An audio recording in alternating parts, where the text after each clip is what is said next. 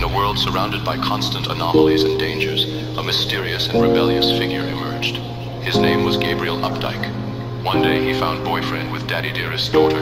He took him inside the TGG facility and decided to follow a different protocol from those used up to then.